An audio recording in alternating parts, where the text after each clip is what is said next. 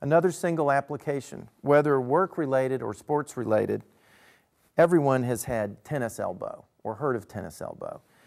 To find where the tendons from the flexor muscles of the forearm insert to the lateral portion of the elbow, simply place your finger on the lateral portion of the elbow and push. If you've got tendonitis or tennis elbow, that spot will be very painful.